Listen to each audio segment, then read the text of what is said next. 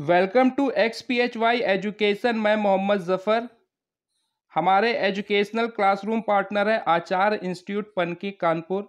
यदि आप ऑनलाइन या ऑफलाइन क्लासेस लेना चाहते हैं तो हमारी वेबसाइट पर विज़िट कर सकते हैं, आचार्य डॉट इन। आज का टॉपिक है वेव मोशन।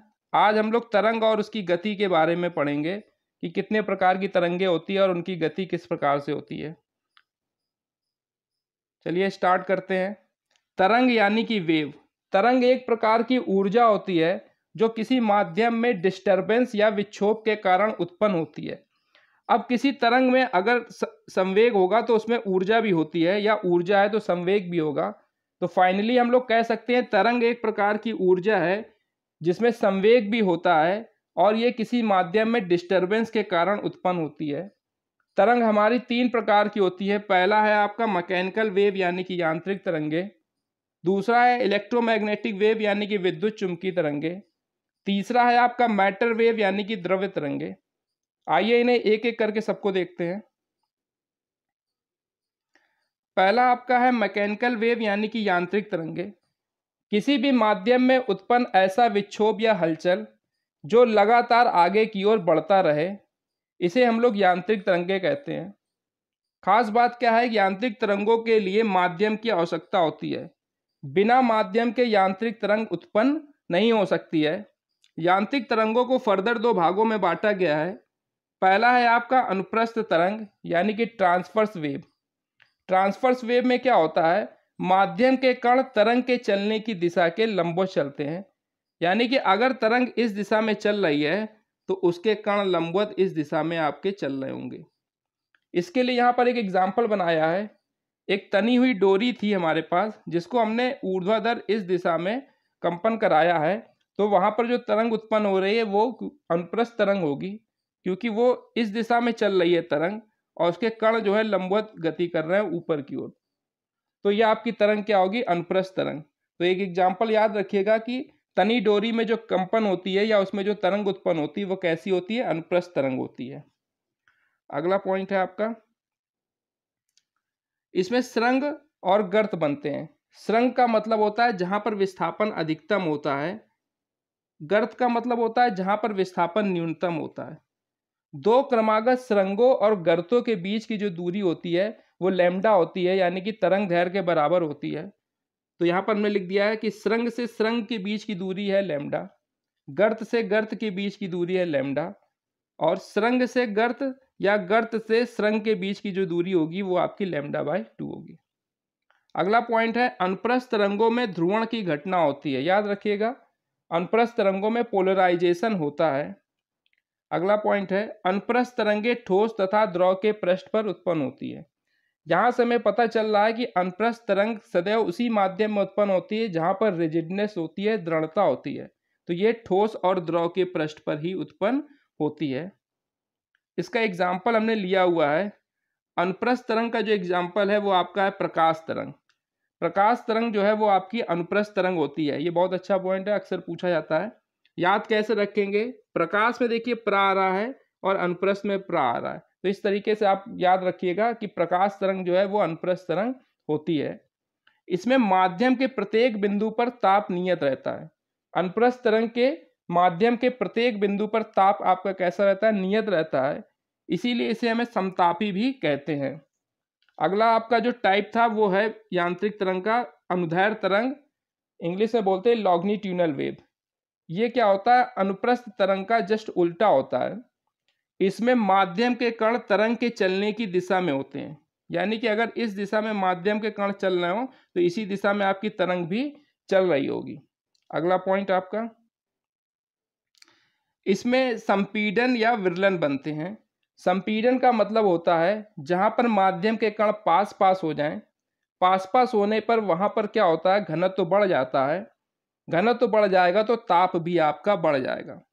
विरलन में क्या होता है, माध्यम के कण दूर दूर हो जाते हैं। वहाँ पर घनत्व तो कम हो जाता है और ताप भी कम हो जाता है। दो क्रमागत संपीडन और विरलन के बीच की जो दूरी होती है, वो आपकी लेमडा यानी कि तरंग दैर्घ्य के बराबर होती है। तो दो क्रमागत संपीडन के बीच की दूरी लेमडा होती है, दो क्रमागत विरलन के बीच की दूरी भी लेमडा होती है और एक क्रमागत संपीडन से विरलन के बीच की जो दूरी होती है वो आपकी लेमडा बाई टू होती है। अगला पॉइंट आपका। अनुप्रस्थ, सॉरी अनुदैर तरंगों में ध्रुवण नहीं होता है। अनुदैर तरंगों में ध्रुवण नहीं होता है। अगला पॉइंट है अनुदैर तरंगे ठोस द्रव तथा गैस तीनों में ही उत्पन्न होती हैं। अगला पॉइंट है, ध्वनि तरंगे जो है वो अनुदैर तरंग का उदाहरण है। ध्वनि तरंगे कैसी होती है? अनुदैर तरंग होती है। तो कैसे याद रखेंगे? इसमें धा आ रहा है और अनुदैर में देखिए धा आ रहा है। तो आप इस तरीके से याद रख सकते हैं, ध्वनि तरंग जो होगी वो आपकी अनुदैर होगी। ये क्वेश्चन अक्सर आता है कि प्रकाश या ध्वनि तरंगों में से कौन अनुप्रस्थ है या कौन अनुदैर्ध है। तो आप कैसे याद रखेंगे? प्रकाश में प्रा आ रहा है, इसलिए वो अनुप्रस्थ है। अनुदैर्ध में धा आ रहा है, इसलिए वो अनुदैर्ध है। तो और दूसरा पॉइंट अभी आपको हमने थोड़ी देर पहले बताया है, इसमें संपीडन और विरलन बनते हैं। यानी कि जहाँ संपीडन बनते हैं, वहाँ पर ताप अधिक होता है, और जहाँ विरलन बनते हैं, वहाँ ताप कम होता है। तो आप इस तरीके से समझ सकते हैं कि अंधैर तरंगों में माध्यम के प्रत्येक बिंदु पर ताप नियत नहीं रहता है। इसलिए इसे रुद्धोष भी हम लोग कहते हैं। अगला पॉइंट आपका है। गैसों में अनुदैर तरंग या ध्वनि तरंग की चाल को प्रभावित करने वाले कारक, यानी कि वो क्या क्या फैक्टर या कारक हो सकते हैं, जो गैसों में ध्वनि तरंग की चाल को प्रभावित करते हैं।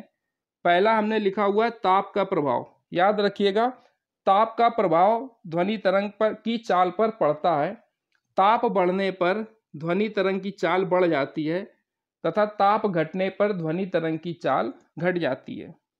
दूसरा, दाब का प्रभाव। दाब का कोई भी प्रभाव नहीं पड़ता है।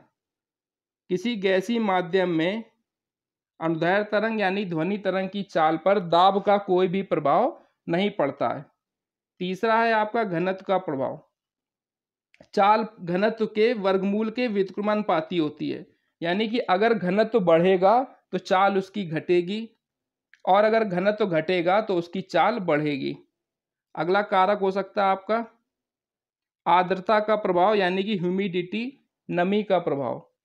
याद रखिएगा आर्द्रता बढ़ने पर ध्वनि की चाल बढ़ जाती है तथा आर्द्रता घटने पर ध्वनि की चाल घट जाती है। यही कारण है कि बरसात के दिनों में मेढक की आवाज़ दूर तक सुनाई देती है, क्योंकि बरसात के दिनों में आर्द्रता आपकी बढ़ जाती है। आर्द्रता बढ़ने से घनत्व तो घट जाता है और घनत्व तो घटने से ध्वनि की चाल जो है वो आपकी बढ़ जाती है। तो यही वो कारण है। अगला आपका कारक हो सकता है वायु या माध्यम की गति का प्रभाव।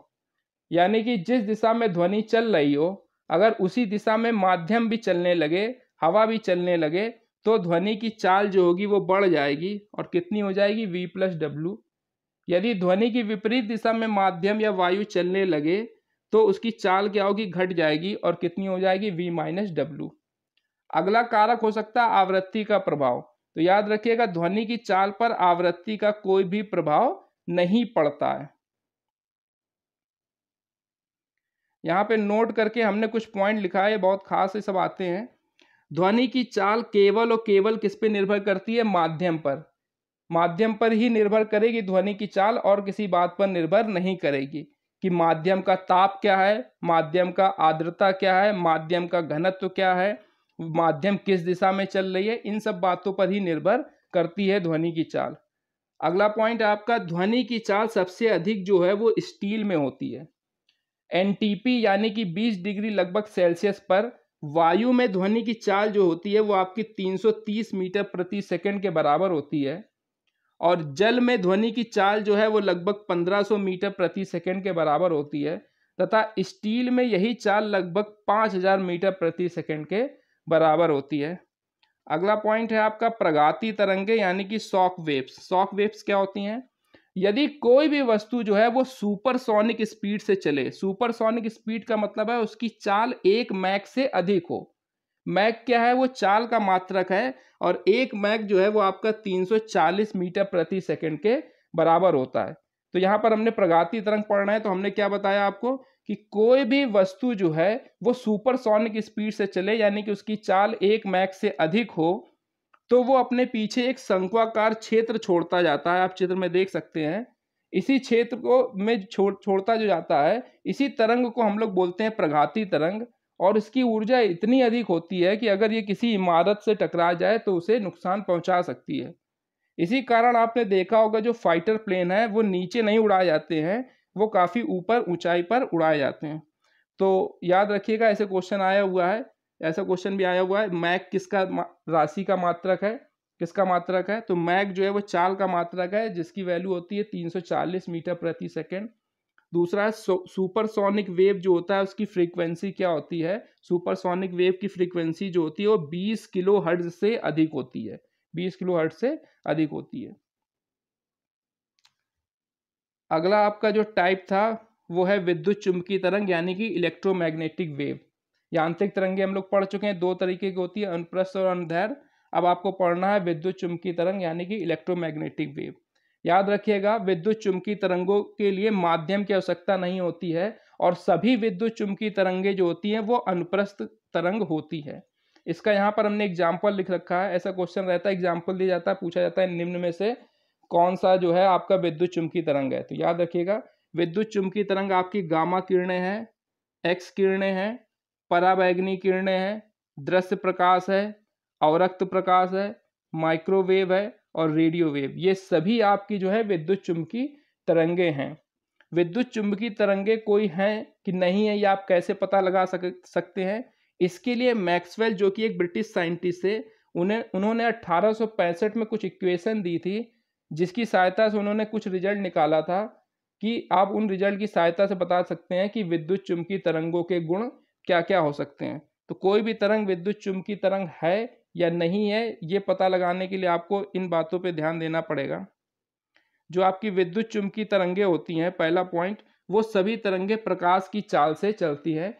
यानी कि उनकी चाल जो होती है, वो थ्री इंटू टेन की power eight metre per second होती है और उसे माध्यम की आवश्यकता नहीं होती है। उसे चलने के लिए माध्यम की आवश्यकता नहीं होती है। जैसे कि आपको नाम में ही दिख रहा है, विद्युत और चुंबकीय। यानी कि इस तरंग में दो वेक्टर होते हैं, पहला होता है वैद्युत वेक्टर और दूसरा होता है चुंबकीय वेक्टर खास बात होती है वैद्युत वेक्टर और चुंबकीय वेक्टर दोनों एक दूसरे के लंबवत होते हैं। तो तो यहाँ पर अगर आपसे पूछा जाएगा कि विद्युत चुंबकीय तरंग में वैद्युत और चुंबकीय क्षेत्र के बीच का कलांतर कितना होता है तो लंबवत होते हैं तो इसका मतलब उसके बीच का जो कलांतर है, वो पाई बाई टू रेडियन होगा। अब दोनों वेक्टर अगर एक दूसरे के लंबवत हैं तो उनका डॉट प्रोडक्ट जो होगा, वो कितना होगा? आपका ज़ीरो होगा। ई अपॉन बी की जो वैल्यू होती है, वो सी के बराबर होती है। तो यहाँ से आप सीधे कह सकते हैं, जो वैद्युत क्षेत्र है, वो हमेशा आपसे किसके बड़ा होगा? चुंबकीय क्षेत्र से बड़ा होगा। अगला पॉइंट है आपका वेक्टर ई को हम लोग लाइट वेक्टर यानी कि प्रकाशिक वेक्टर बोलते हैं। इसका कारण ये है कि कोई भी प्रकाश जो हमारी आँखें देख सकती हैं, वो उसके वैद्युत वेक्टर के कारण ही देख सकती है। क्योंकि वैद्युत वेक्टर हमारी नर्व सिस्टम जो होती है आइस की, उसमें संवेदना या सेंसिटिविटी पैदा करती है। इसीलिए जो वैद्युत वेक्टर होता है विद्युत चुंबकीय तरंग में, उसे हम लोग प्रकाशी वेक्टर कहते हैं। अगला आपका टाइप है मैटर वेव यानी कि द्रव्य तरंगे। आपको पता है कि लाइट में डुअल नेचर होता है, ऐसा डी ब्रॉगली ने बताया था। पहला आपका वेव नेचर होता है दूसरा आपका पार्टिकल नेचर होता है। तो जब किसी तरंग में पार्टिकल नेचर यानी कि क्वांटम की बात करेंगे तो उसे हम लोग मैटर वेव मैटर वेव या डी ब्रॉगली वेव हम लोग कहेंगे। इसका एग्ज़ाम्पल आप देख सकते हैं हाइड्रोजन स्पेक्ट्रम में। यहाँ पे क्या होता है कि हाइड्रोजन की बाहरी कक्षा का जो इलेक्ट्रॉन होता है, उसको हम लोग बाहर से कुछ ऊर्जा देते हैं। वो ऊर्जा लेने के बाद क्या होता है, वो उच्च ऊर्जा स्तर में इलेक्ट्रॉन चला जाता है। वहाँ पर वो बना नहीं रहता है, दस की घात माइनस आठ सेकेंड बाद जो ऊर्जा लिया है, उसने प्रकाश फोटान के रूप में उत्सर्जित करके वापस अपनी मूल अवस्था में आ जाता है।